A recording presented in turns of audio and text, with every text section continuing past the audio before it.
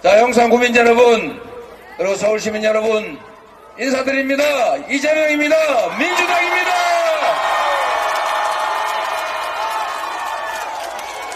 민주당 강태웅, 민주당 강태웅.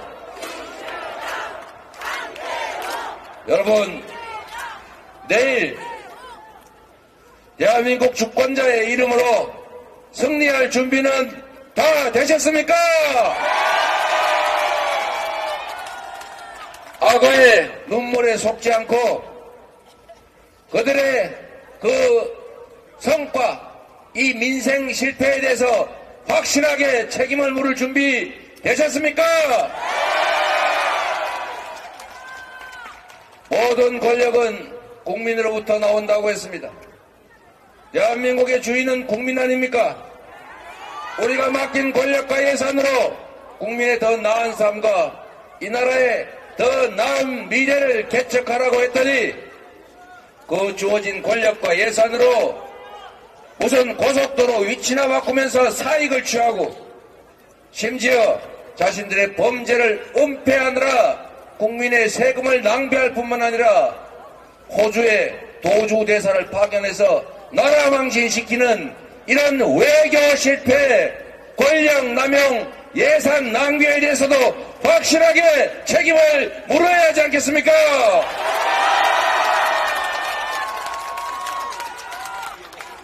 영상 국민 여러분, 그리고 서울 시민 여러분, 우리는 숭배할 우상을 뽑거나 우리를 통치하고 지배할 왕을 뽑지 않았습니다. 우리는 국민을 위해서 잠시 권력을 위임받아 충직하게 국민과 국가를 위해 일할 일꾼을 뽑은 것입니다. 그렇지 않습니까? 우리의 대리인 일꾼들이 주인을 업신여기고 능멸하고 심지어 주인을 억압하고 고통으로 몰아넣으면 주인된 입장에서 용서하지 말아야 하는 것 아닙니까?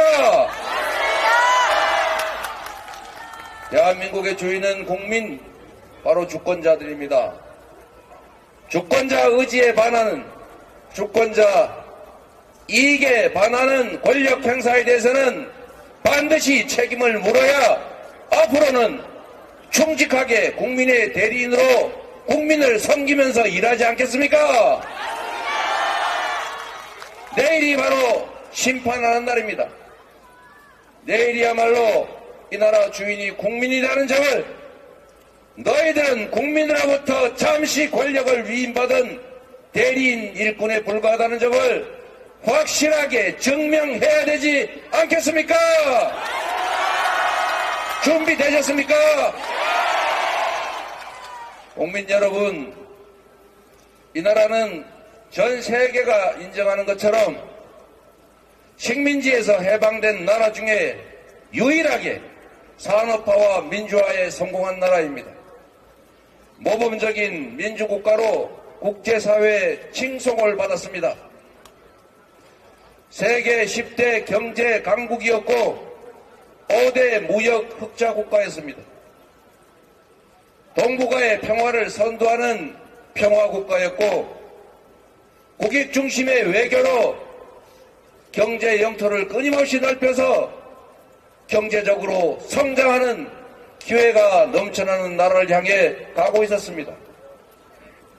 그런데 우리가 맡긴 권력과 예산으로 국민의 삶을 개선하지는 못할 망정, 국가의 더 밝은 미래를 개척하지는 못할 망정, 오히려 없는 것보다도 못할 만큼 민생이면 민생, 경제면 경제, 외교면 외교, 그리고 안보, 자유 민주주의까지 망가뜨리지 않은 게 없는 게 바로 이 정권입니다, 여러분. 우리가 삶 속에서 체험하고 있지 않습니까? 이제 그들이 행사한 고난의 양만큼 이제 상응하는 책임을 질 때가 됐습니다. 이제 내일은 그간 2년의 국정에 대해서 명확하게 평가하고 주인으로서 계속 권력을 맡길 것인지 벌을 줄 것인지를 결정해야 합니다. 이제 내일 우리가 받아들게 될 그 투표용지는 바로 옐로우 카드 경고장입니다.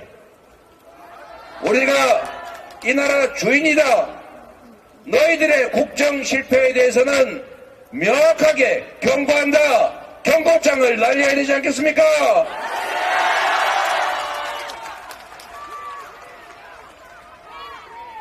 영상 국민 여러분, 국가의 역할 중에 가장 중요한 역할이 국민의 생명과 안전을 지키는 것입니다. 이채 양명주에서 보여지는 것처럼 이태원 참사는 아마도 대한민국 근현대사에 길이 남을 참사가 될 것입니다. 그리고 그 중에서도 정부가 왜 국민이 아무런 이유도 없이 길을 가다가 백수십 명이 죽었음에도 그 원인이 무엇인지 누가 책임을 져야 하는지 전혀 규명하지 못한 규명하려는 노력이 전무했던 사건으로 기록될 것입니다. 우리는 반드시 이 사건의 진상을 규명하고 다시는 이런 대형 참사가 일어나지 않도록 예방책을 방지책을 세워야 합니다. 그리고 백 수십 명의 억울한 죄 없는 생명들이 쓰러져간 그 참사에 대해서 법적 책임을 묻는 것은 변론으로 하더라도 윤리적, 도덕적, 정치적 책임은 최소한 지금이라도 져야 하는 것 아닙니까?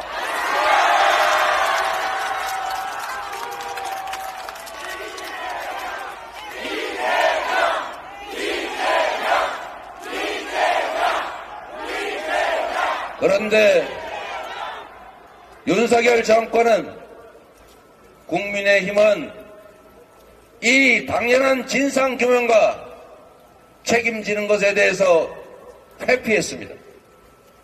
이것은 주권자인 국민을 명백하게 능력한 행위이고 일군 그리고 대리인으로서의 기본적인 자질이 없는 무자격 용서할 수 없는 실패한 정권 그리고 반드시 상응하는 책임을 물어야 될 무능한 정권이다. 맞습니까, 여러분? 여러분이 책임을 반드시 물어주십시오. 우리의 이웃들이 아니면 어쩌면 나 자신이 똑같은 참사로 피해를 입게 될지 모릅니다. 이태원 참사의 원인도 규명하지 못했고 원인을 규명하자는 노력도 그들에게 저지당했고 심지어 국회가 다수 의석으로 진상 규명을 위한 특별법을 만들자는 것도 그들은 저지하고 있습니다.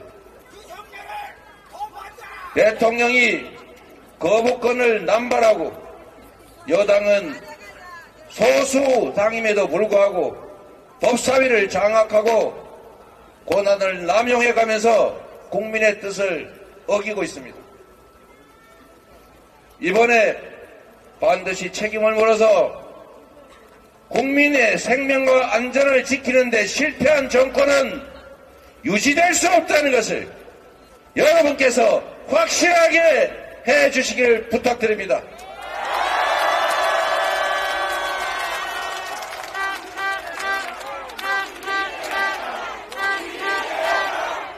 강태웅을 불러주시기 바랍니다. 용산에는 이재명이 출마하지 않습니다, 여러분.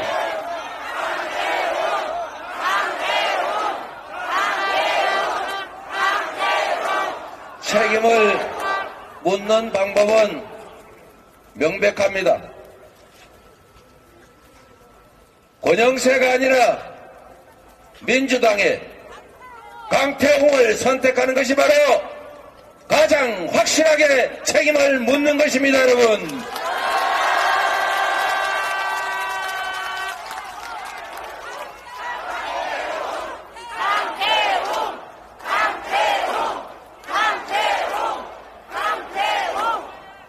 이번 총선에서 출발도 용산이었고 이제 마무리도 용산에서 합니다.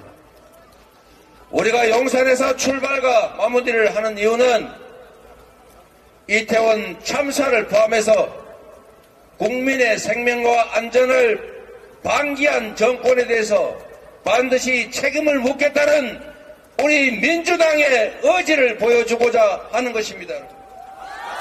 반드시 여러분께서 잊지 마시고 우리 이웃들의 그 억울한 죽음이 헛되지 않도록 다시는 그런 죽음과 참사가 재발되지 않도록 이번에는 확실하게 책임을 물어주시기 바랍니다.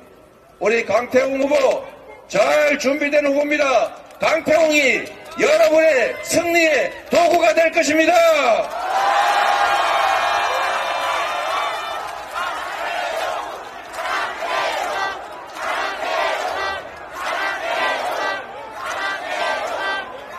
여러분, 생명과 안전을 지키는 일만큼이나 중요한 것이 먹고 사는 문제를 해결하는 것입니다.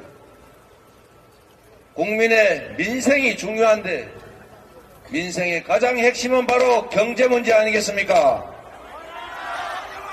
나라에 권력을 부여하고 우리가 세금을 내는 이유는 우리가 좀 더 나은 삶을 행복하고 희망찬 삶을 살기 위한 것 아니겠습니까? 경기가 나쁘면 경기를 개선하고 경기가 과열되면 과열을 시키고 부족한 SOC가 있으면 정부가 투자하고 그리고 지금처럼 소비 부진으로 소득 감소로 우리 국민들의 주머니가 비어서 동네 골목이 죽어가면 코로나 때 했던 것처럼 지역 카페 가구당 100만 원 정도씩 지급하면 동네도 살고 허기진 국민들의 배도 잠시 채우고 혹시 몇십만 원 돈 없어서 떠나버릴까 이렇게 고, 민하는 그분들한테도 길이 생길 것 아닙니까? 경제도 살아나고 세수도 늘어나고 경제 선순환이 이루어질 것 아닙니까? 이런데 쓰라고 세금 내지 않았습니까 여러분? 그런데 이 정권이 하는 일이 대체 뭡니까? 서민 예산, 지원 예산은, 청년 지원 예산은, 심지어 국가의 미래가 달린 R&D 연구개발 예산은 재정이 부족하다고 다 삭감했습니다.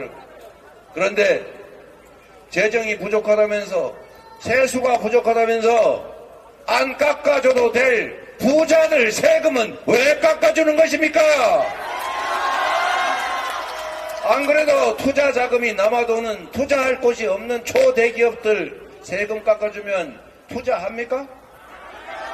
서민들에게 그 돈 지역화폐로 지급하든지 손발에 해당되는 모세혈관에 해당되는 서민 지원을 하면 경제가 살 것 아닙니까? 이게 정부가 해야 될 경제 정책 아니겠습니까? 외교를 엉망으로 해서 국가 관계가 나빠지고 적대적인 나라가 생기다 보니 기업들의 수출 환경이 악화됐습니다. 외교가 그냥 언사를 잘하면 되는 게 아니라 무력 과시를 잘한다고 되는 것이 아니라 결국은 국익 중심으로 실리 중심으로 국가 관계를 만들어 가야 되지 않겠습니까? 일본하고 관계는 국가적으로 좋아졌는지는 정부 간에는 좋아졌는지 모르지만 우리 국민들의 삶은 더 나빠졌고 기업들의 대외 환경은 더 악화된 것 확실치 않습니까? 명백한 외교 실패로 인한 경제 악화입니다. 평화 문제도 같습니다, 여러분. 평화롭던 한반도가 말폭탄에 무력 과시에 대화 노력 부족으로 내일 당장 전쟁이 나도 이상하지 않은 나라가 됐습니다.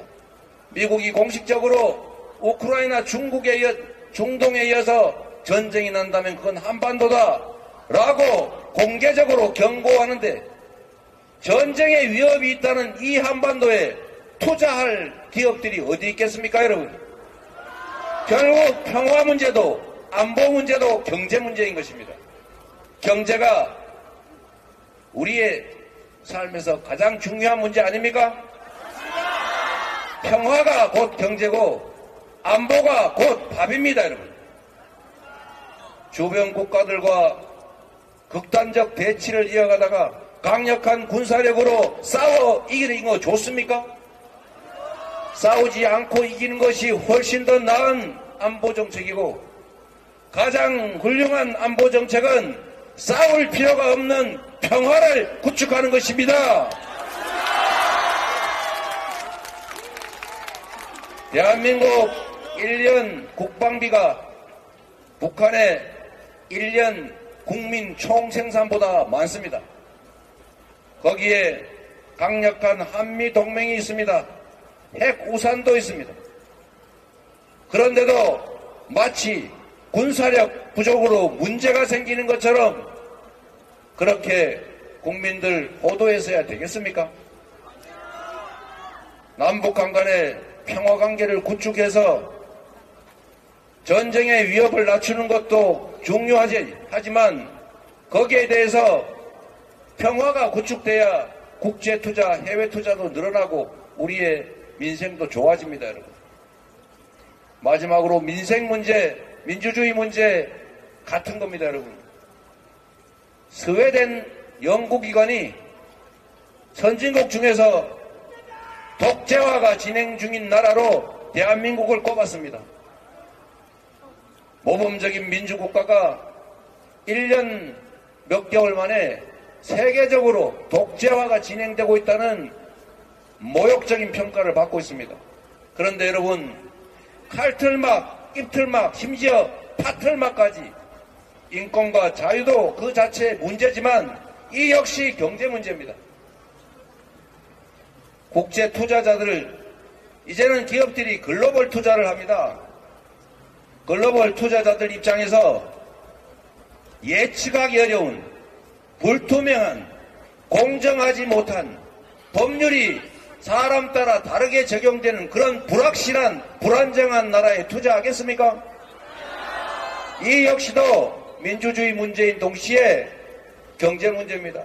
모든 방면에서 우리 경제가 나빠질 수밖에 없도록 국정이 운영되고 있습니다. 여러분. 이제 국정 방향을 바꿔야 합니다.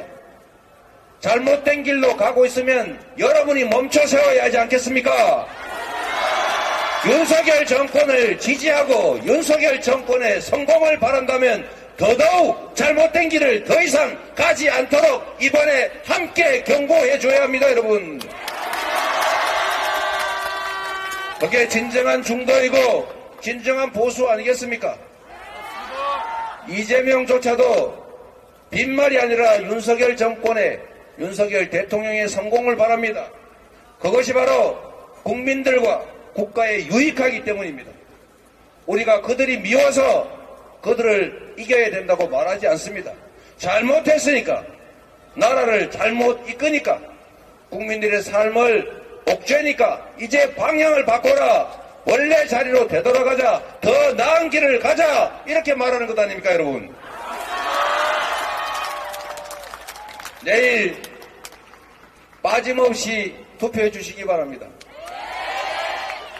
내일의 선거 역시 지금까지 그래왔던 것처럼 대통령 선거에서 0.73% 차로 운명이 갈렸는데 그때도 투표하지 않는 사람이 23% 4명 중에 1명이었습니다. 국회의원 선거는 3명 중에 1명은 투표하지 않습니다. 지방선거는 절반이 투표하지 않습니다. 그 투표하지 않는 포기된 주권, 포기된 권력은 중립지대에 놓여 있는 것이 아니라 이 사회의 소수 기득권자들의 몫이 된 것입니다. 그래서 1인 1표의 민주주의 국가임에도 압도적 또는 다수 국민들에 의해서 선출된 권력임에도 그 다수 국민들의 이익이 아니라 소수 특권층을 위한 정치를 합니다.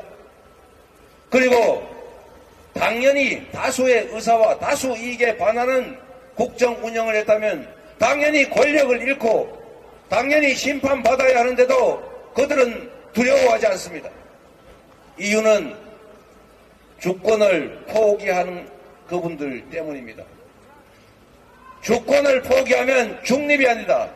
행동하지 않는 양심은 악의 편이다. 여러분 반드시 투표해야 합니다. 권력을 포기하지 말아야 합니다. 이웃들에게 설득해서 내일 반드시 투표하도록 만들어 주십시오.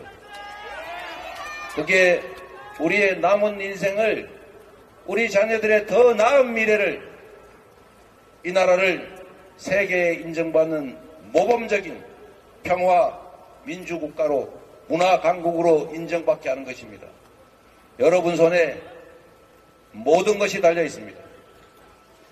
주권을 포기하지 말고 꼭 투표해서 우리의 자녀들이 기회가 없고 인권이 침해되고 그리고 전쟁의 위기를 기- 겪는 그런 참담한 사회에서 살아가지 않게 꼭, 꼭 참여해 주시고 참여하게 설득해 주시기 바랍니다. 그리고 마지막으로 이 말씀 드리겠습니다. 저도 오늘 마이크 잡고 얘기하는 게 이번 선거로는 선거에서는 마지막이 될 것 같습니다. 존경하는 국민 여러분, 그리고 용산 구민 여러분, 서울 시민 여러분. 아주 당연한 원리로 누군가의 일을 대신 맡아 하는 사람은 자신이 한 일에 대해서 당연히 책임져야 합니다. 권한의 양만큼 책임이 있습니다. 권한을 행사했으면 그 권한 행사의 결과에 대해서 응분의 책임을 져야 합니다. 잘했으면 상을 받을 것이고 잘못했으면 벌을 받는 것이 당연합니다. 이 나라는 경제, 민생, 안보, 평화, 민주주의 모든 면에서 후퇴했습니다. 우리 국민들은 서울 시민들은 용산 구민들은 이 정권의 국정 실패로 고통받고 있습니다. 앞으로 나아질 기미도 보이지 않습니다. 그렇다면 여러분 이제 그 권력을 위임한 주인의 입장에서 상벌을 분명하게 할 때입니다. 책임질 것은 책임지고 잘한 것은 칭찬하고 잘못한 것에 대해서는 엄정하게 꾸짖어야 합니다. 맡겨진 권력으로 국민들의 삶을 해친다면 권력의 일부라도 해소해야 합니다. 레드카드는 이르겠지만 최소한 옐로우 카드로 정신이 번쩍 들게는 해야 하는 것입니다, 여러분. 그런데 여러분, 우리 국민들은 참으로 선량해서 누군가가 눈물 흘리고 큰절하면서 잘못했다 빌면 마음이 약해지는 경향이 있습니다. 정말로 선량한 착한 대한민국 국민 아니겠습니까? 좋은 덕목임이 분명합니다. 그런데 여러분, 눈물도 종류가 있습니다. 고통스러워서, 힘들어서, 미래가 암울해서 흘리는 다수 서민들, 약자들의 눈물이 있습니다. 당연히 그 눈물에 우리는 반응하고 연민하고 동정해야 합니다. 그러나 여러분, 먹이를 잡아먹을 때 목구멍에 잘 넘어가라고 흘리는 악어의 눈물처럼 기득권 강자들이 자신들의 잘못에 대해서 책임지지 않고 그 잘못된 권력을 더 누리겠다고 그 권력을 연장하겠다고 국민을 속이기 위해서 흘리는 그 눈물에 대해서는 결코 연민하거나 동정해서는 안 됩니다, 여러분.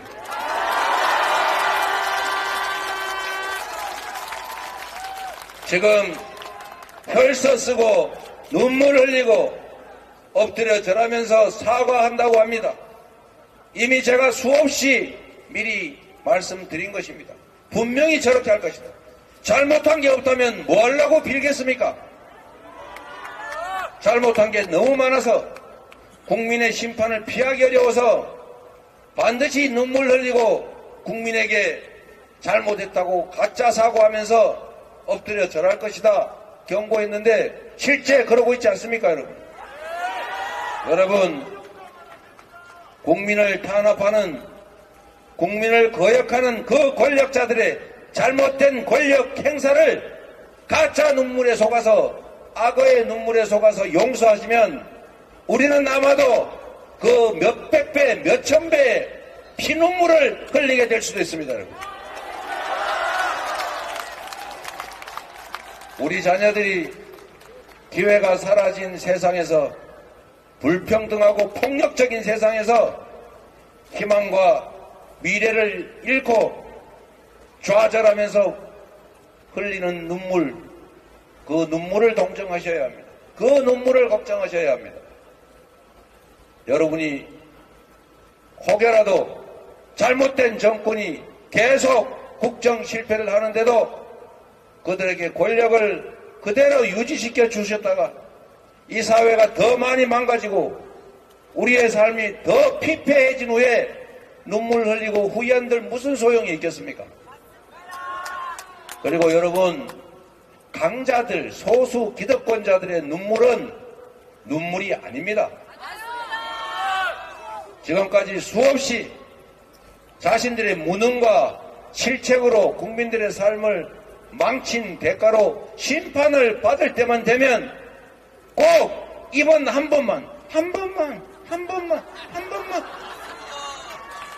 이러면서 위기를 넘겨왔는데 그들이 과연 실제로 반성하고 실제로 뉘우쳤습니까?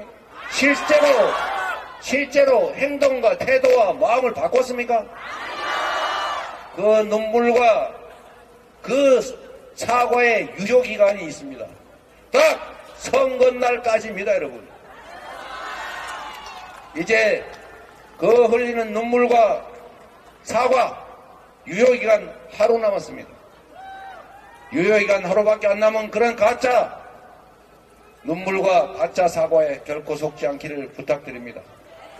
이번에야말로 이번에야말로 이 나라 주인이 바로 우리라는 것을 우리가 눈 시퍼렇게 뜨고 살아있다는 것을 저 오만한 정치 권력에게 확실하게 보여주면 좋겠습니다, 여러분.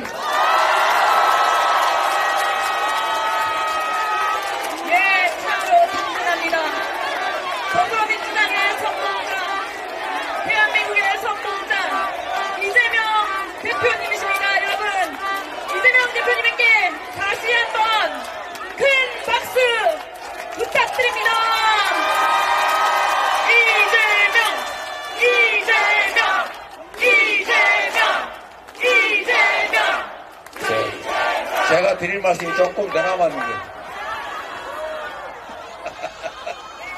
여러분, 이제 선거운동 시간은 이제 3시간 45분 남았습니다. 그리고 내일은 투표 동료는 얼마든지 가능합니다. 내일도 시간이 있습니다. 열심히 아는 분들 전화하고 문자 보내고 그리고 카톡이라도 해서 투표라고 권장해 주십시오. 유유상종이라 여기 계신 여러분들이 투표하라고 해서 투표하는 분들은 다 아마도 여러분 삶에 도움이 되는 선택을 할 것입니다. 그리고 3시간 45분밖에 안 남았지만 이 남은 시간도 여러분의 전화기를 열어서 전국에 아는 모든 분들에게 이번에는 책임을 묻자. 주권을 포기하면 가장 저열한 인간에게 지배받는다더라. 플라톤이 한 말 아닙니까? 욕망의 수단으로 권력이 전락하지 않게 선량한 의지를 가진 충직한 일꾼들이 국민이 맡긴 주권을 행사할 수 있게 잘 선택하자. 이렇게 여러분만이라도 전화하고 문자하고 카톡 보내면 전국이 아슬아슬한 지역들이 아마도 좋은 성과를 낼 것입니다. 그리고 이번 총선은 유난히 박빙 지역이 많습니다. 여야 모두 50 내지 60석 정도가 결과를 알 수 없다라고 얘기합니다. 단 몇 표 차로 승부가 날 곳이 너무 많습니다.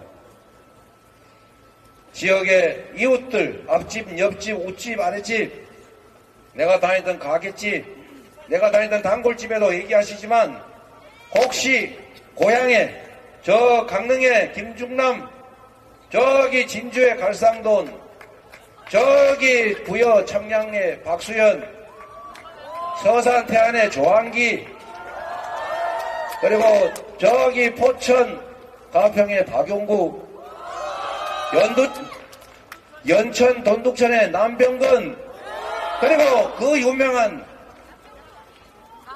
양평 고속도로 있는 양평 여주 양평의 최재관 이천의 엄태준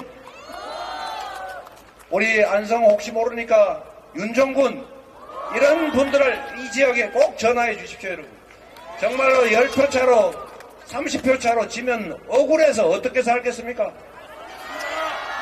저기 보은 영동 옥천 괴산에는 이재한 후보가 정말 박빙 승부를 하고 있습니다.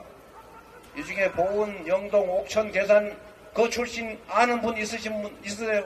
전화해 주세요. 한 표 차로 결정날 수도 있지 않습니까, 여러분?